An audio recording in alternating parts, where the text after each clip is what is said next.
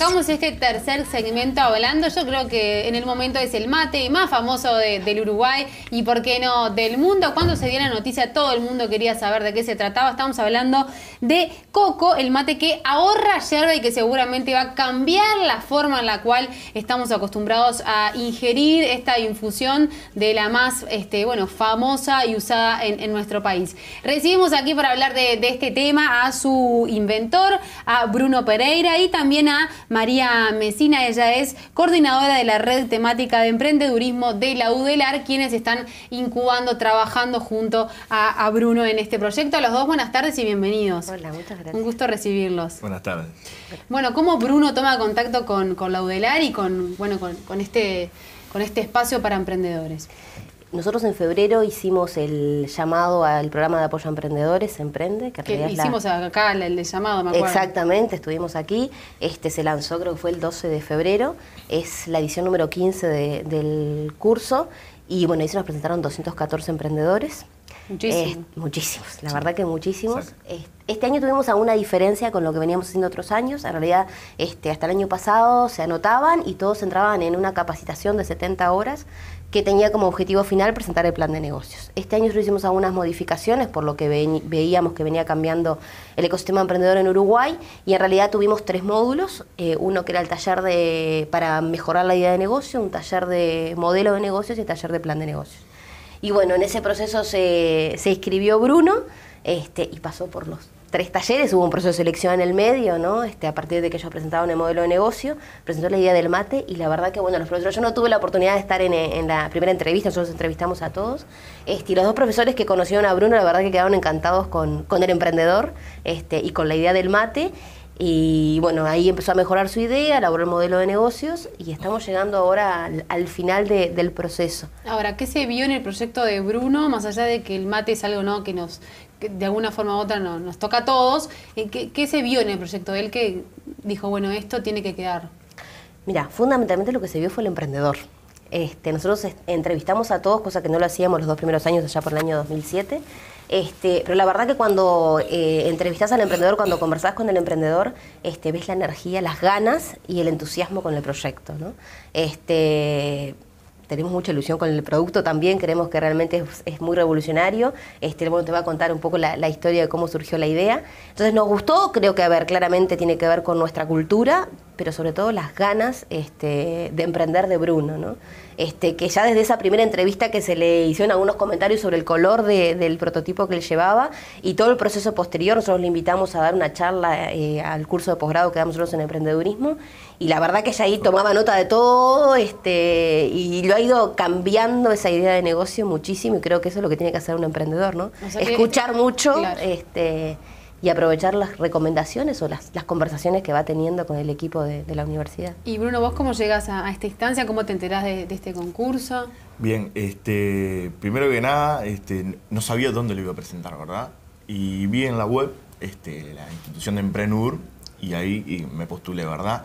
Y me postulé en el momento justo, cuando yo precisaba este, el asesoramiento, ¿verdad? Luego de ya tener la idea.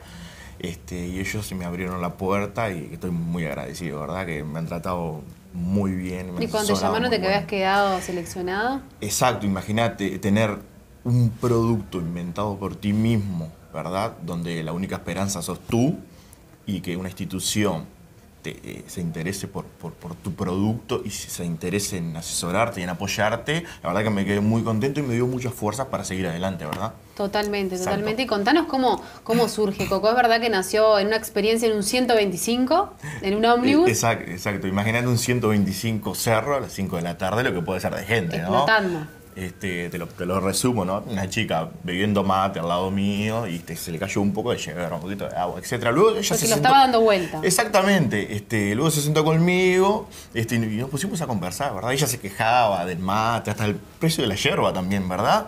Este, y yo ya tenía la idea de que quería hacer algún invento y no sabía qué era, ya que quería hacer algún emprendimiento, ¿verdad?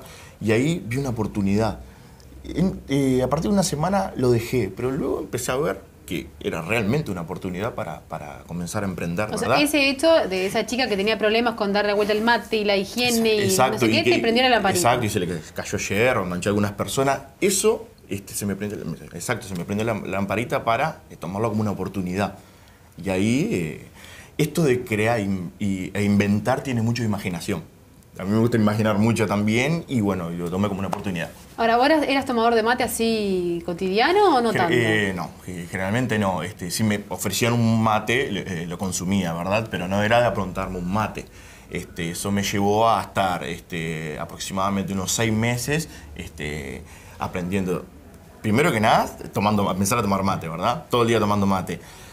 Aprender la historia de la yerba mate, de su parte culinaria, eh, el- del mate pro- propiamente dicho, ¿verdad? Hice todo un estudio, este, que lo hice vía libros e internet, ¿verdad? Este, eh, para, para conocer realmente Claro, dónde me había claro. metido, ¿verdad? Igual, este, yo soy gastronómico, soy, soy bartender y sé de yerba mate, obviamente, ¿no? Este, como gastronómico. Claro, claro. Pero igual no me quedé con, el- no me conformé en eso y, y investigué muy profundamente y me sirvió mucho. Y aparte esos seis meses de, de- de vivirlo, ¿no? De que se te lava el mate, de que se te... Exacto, sí, sí, hice muchas pruebas en, en casa, poniendo varios vasitos con yerba y viendo eh, eh, a qué tiempo se lava la yerba, a qué temperatura, con qué cantidad. todo, todo eso fue todo lo que tuve que hacer, ¿verdad? Y, y de toda esa instancia de aprendizaje, de investigación, ¿cómo vas con esto? O sea, con, con- con un mate que a su vez tiene eh, muchas cebaduras en, uno, en un mismo recipiente. Exacto, este, por el suceso que pasó en el ómnibus, primero que nada, primeramente había pensado en hacer un mate que dé eh, vuelta fácilmente la yerba, ¿verdad? Pero en la investigación me di cuenta que había mucho más que eso. El ahorro de yerba mate, ayudar a las personas que no saben cebar, ¿verdad? Y, este, y otros puntos importantes que tiene el producto, ¿verdad? Y ahí vi que, que- que podría transformarse en una idea para, para luego transformarla en negocio, ¿no? Este, pero la inspiración empezó por dar vuelta al mate fácilmente. Arrancó y ahí, por empe- ahí ahí. empezó la inspiración. Bien, y ahí te- después te diste cuenta, claro, que habían otros puntos también débiles. Exactamente, exacto. Y ahora, eh, ¿cómo reacciona eh, el uruguayo cuando se le toca también un, un elemento que es tan tradicional, ¿no? Eh, ¿Estamos preparados para cambiar así la forma en la cual consumimos el mate? ¿Qué te parece? Esa, la pregunta que haces tú es muy importante porque hoy en día en el planeta estamos en un cambio, estamos en un momento histórico, en un cambio tecnológico, ¿verdad? Este, el ser humano ha evolucionado muchísimo, el uruguayo ha evolucionado muchísimo, la tecnología ¿ah? te, da mucha información y te hace evolucionar en ese aspecto. Y yo creo que sí, los uruguayos estamos preparados para, para- para aceptar este tipo de producto.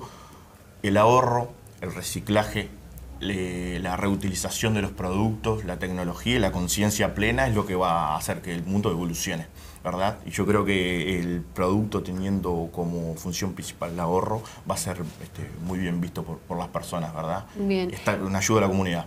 Eh, Está bueno recalcar que el producto no está a la venta, está eh, todavía en, en- en construcción. ¿En qué momentos está ahora? Está- eh, estamos en una etapa de prototipo, ¿verdad? Donde eh, el prototipo es una impresión en 3D, que es en material plástico, definiendo detalles este, y a muy cortito plazo empezaremos con la producción de, de lo- del primer producto con los materiales originales, ¿verdad? Y validar un poco los materiales también, ¿verdad? Este, Porque lleva toda una instancia de prueba, ¿no? De- y, y que también está bueno que los emprendedores sepan de que no es tengo una idea que yo creo que es maravillosa y un día para el otro está. O sea, hay que prueba, error, aprender, estudiar.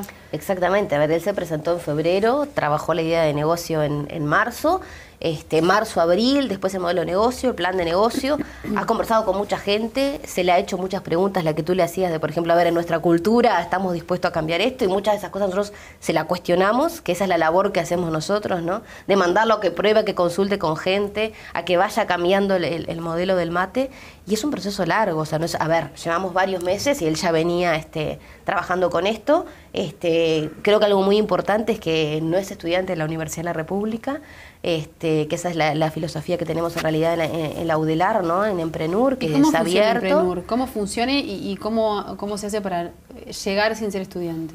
Eh, en realidad todas las inscripciones se hacen a través de la web nuestra, que es emprenur.edu.uy, y ahí van saliendo todas las convocatorias. ¿no? Este es el proceso más largo que nosotros vivimos, es con los emprendedores que se inscriben a, este, a esta capacitación, que de febrero está terminando ahora. Ellos ya presentaron el, el plan de negocios, se lo presentaron la semana pasada. Hay ¿Cuántos son? 18, 18 emprendimientos. De esos Este, 200 y pico que se presentaron en Exactamente, febrero. Exactamente.